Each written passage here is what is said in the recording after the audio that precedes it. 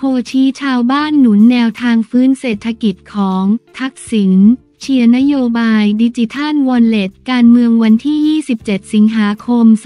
2567 12นาฬิกา23 นาที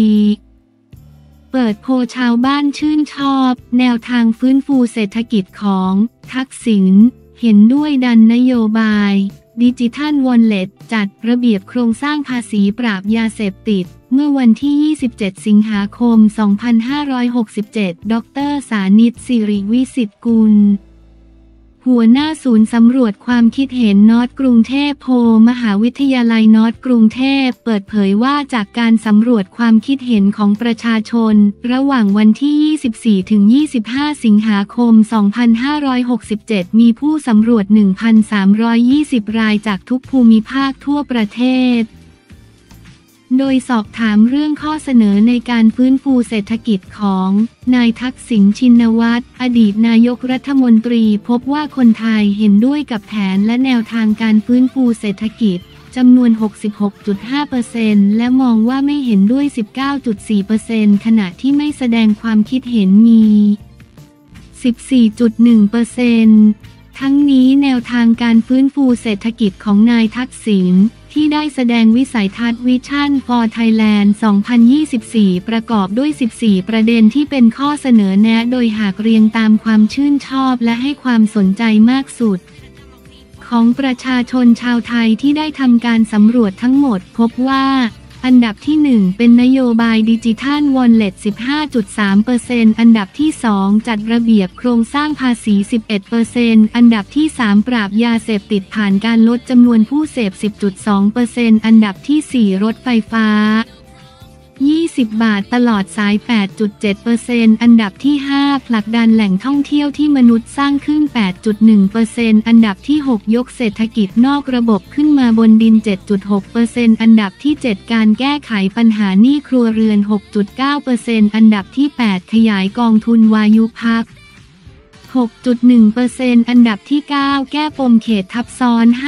5.4%อันดับที่ 10 สร้างศูนย์กลางผลิตรถไฟฟ้า 5.4%อันดับที่ 11 ถมทะเลบางขุนเทียนสร้างแผ่นดินใหม่ 4.8%อันดับที่ 12 ผลักดันไทยเป็นหลุมหลบภัยนักลงทุน 4.5%อันดับที่ 13ทำลีกมวยไทยดัน soft power จริงจัง 3.7% และอันดับที่ 14 ปลดล็อกต่างชาติซื้อที่ดิน 2.3เปอร์เซ็นต์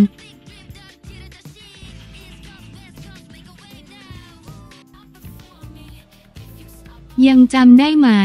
กบพิมลรัตน์สาวหน้าคมอดีตนางเอก ดังบันเทิงวันที่ 27 สิงหาคม 2567 15นาฬิกา14 นาทียังจำกันได้ไหม กบพิมลรัตน์ สาวไทยหน้าคมอดีตนางเอก ดังแสดงภาพยนตร์ระดับตำนาน สุริโยไทย ปัจจุบันผันตัวเป็นเจ้าแม่สายแฟร์ย้อนกลับไปเมื่อ 23 ปีก่อนคงไม่มีใครไม่รู้จัก กบพิมลรัตน์นางเอกสาวหน้าคม สวยตรงแบบฉบับสาวไทยในอุดมคติที่แจ้งเกิดจากภาพยนตร์เรื่องสุริโยไทย บอกเลยว่าปัจจุบันก็คงสวยไม่ส่าง ประวัติส่วนตัวกบพิมลรัตชื่อ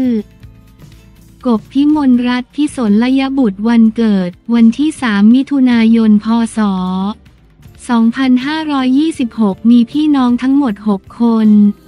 ประวัติการศึกษากบพิมลรัตระดับอนุบาลประถมศึกษาจากโรงเรียนสมทวินราชดำริชั้นมัธยมศึกษาจากโรงเรียนพดุงศิษย์พิทยาสายศิลป์คำนวณ ระดับปริญญาตรีจากมหาวิทยาลัยรังสิต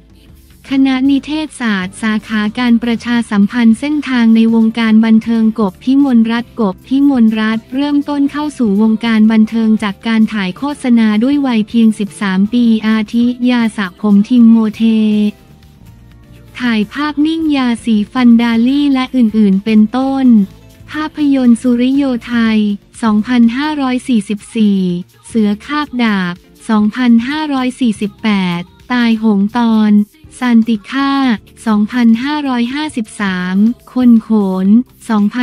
2554 พันท้ายนรสิงห์ 2558 ขุนพันธ์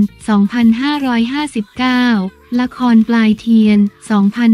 2545 สายโลหิต 2546 ยอดคุณตูบ 2548 รอสอ 112 คนไทยรักแผ่นดิน 2548 ลอดลายมังกร 2549 ปูลม 2549 ทองเนื้อแท้พรสวรรค์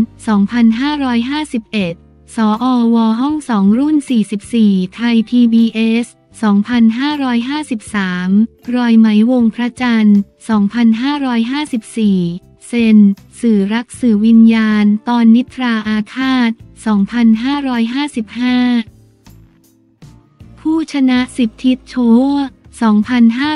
2556 แหวนทองเหลืองสาวรส2558 ปริศนา 2558 เจ้าสาวของอานนท์ 2558 พันท้ายนรสิงห์ 2559 มิวสิกวิดีโอบอกได้ไหม เต็มวุฒิสิทธิ์รักเต็มวุฒิสิทธิ์ช่องว่างในหัวใจเสือ ธนพลพิธีกรรายการ 5 อภินิหารช่อง 5 เส้นทางความรักกบพิมลรัตกบพิมลรัตควงแขนมหาเศรษฐีประสบพลากรกิติกรรมการผู้จัดการบริษัทด้านการนำเข้าเคมีภัณฑ์ระดับภูมิภาคเข้าสู่ประตูวิวาห์ไปเมื่อช่วงปลายปี 2559 ซึ่งหลังจากที่กบพิมลรัตน์แต่งงานแล้วกบก็ไม่ค่อยได้รับงานในวงการและหันไปทำงานของตัวเอง ช่วย support สามีกบพิมลรัตน์มีความสนใจในเรื่องแฟชั่น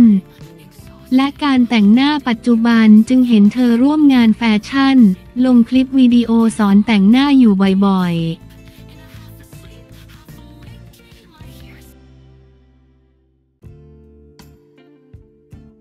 บ็อกเซียไทยซ้อมสนามจริงวันแรก เชื่อมีลุ้นเหรียญทุกคลาสพาราลิมปิกเกมกีฬาวันที่ 27 สิงหาคม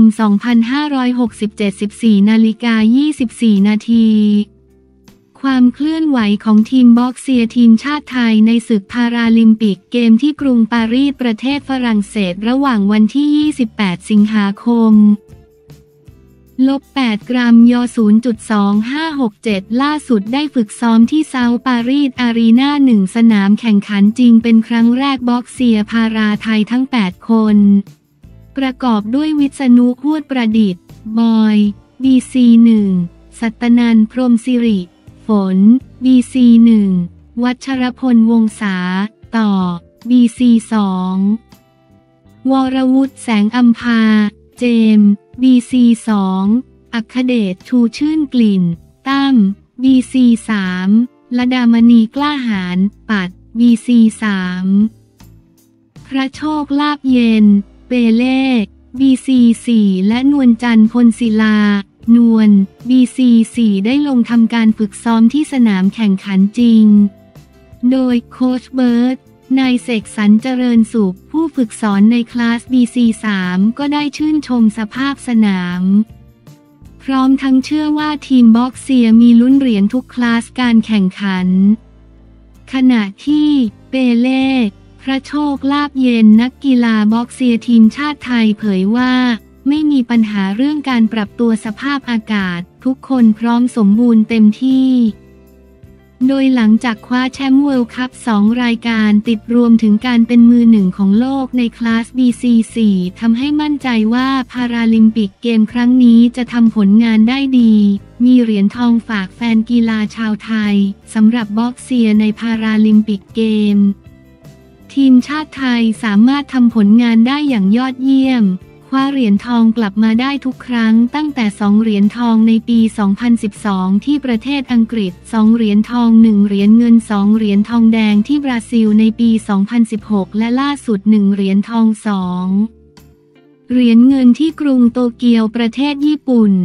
โดยการแข่งขันพาราลิมปิกเกมที่กรุงปารีสประเทศฝรั่งเศสจะมีขึ้นระหว่างวันที่ 28 สิงหาคม ลบ 8 กรัมยอ0.2567